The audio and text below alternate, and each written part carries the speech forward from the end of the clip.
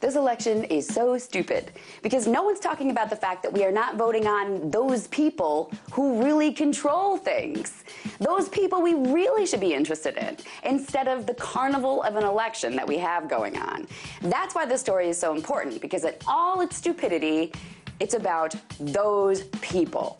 Those people who just got together for their secretive annual gathering called the AEI World Forum. AEI stands for American Enterprise Institute.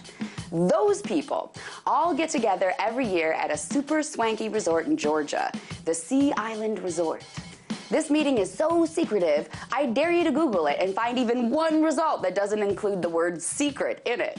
But still, Details always manage to slip out, as they are wont to do, and Bill Kristol, editor of The Weekly Standard, just leaked a whole bunch from this year's annual gathering. First, let's start with who those people actually are. The people who actually attended this meeting. Ready for the list? In part, Apple CEO Tim Cook, Google co founder Larry Page, Tesla's Elon Musk, Mitch McConnell, Karl Rove, Paul Ryan, Tom Cotton, and a bunch of other influential Republicans. Philip Anschutz was there, a billionaire GOP donor. The publisher of the New York Times, Arthur Sulzberger, also there. All of these people. They all flew to this posh resort in Georgia on their private jets, as detailed by federal aviation records, to get together for their annual secretive gathering. Now let's talk about what those people were actually talking about, because that's what makes them those people in the first place. According to Kristol's emailed report from the gathering, it was all about how to stop Trump. All these Republicans and moguls are all worried about Trump because he's not one of those people.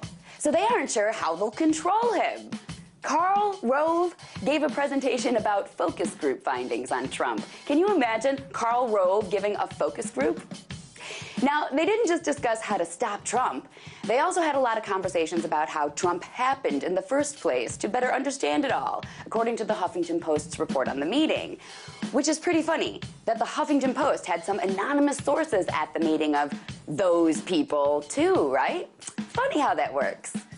So, yeah, until we get to vote on those people, this election to me is just pretty stupid. Tonight, let's talk about that.